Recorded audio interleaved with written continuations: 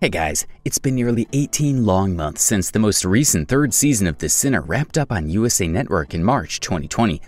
And finally, the network has set the release date for the highly anticipated season 4 of The Sinner, revealed the new storyline and the new cast.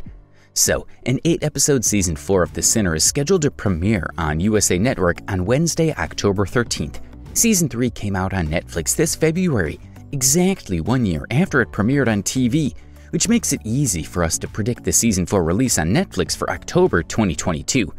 USA Network also released a season 4 trailer that sends Harry Ambrose down a gloomy rabbit hole again when a woman mysteriously disappears.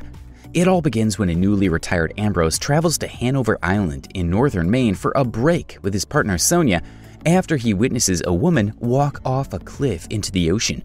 The newly retired Detective Ambrose is played brilliantly once again by Bill Pullman.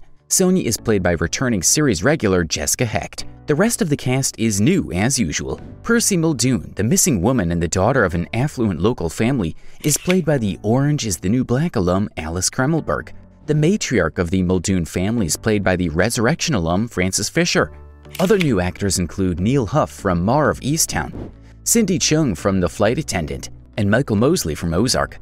Guys, what do you think so far about the upcoming season 4 of The Sinner? Share in the comments, and thanks for your likes. They mean a lot to us.